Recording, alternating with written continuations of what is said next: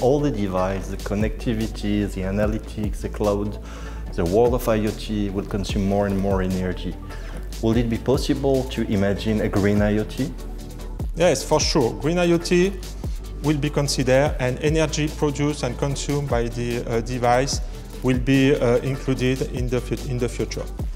An amazing study reports that the energy consumed by the uh, connected devices by 2025 will be approximately the energy consumed by a country like Germany.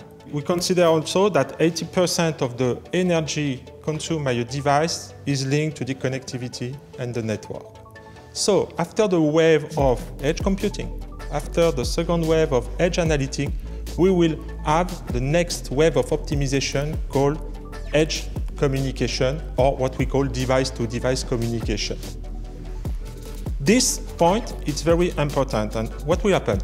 We will have each device that would be able to speak with another device or a set of devices around in a fully autonomy without any centralized system to gather, to transform and to forward data. Thanks to AI, we will move to what we call personalized IoT, which is the tailoring of IoT devices for each use case and context. The key point of personalized IoT is the auto-discovery feature, the this local decision feature and the semantic model that will be included in the global architecture, but also in the use case, and most important, in the usage.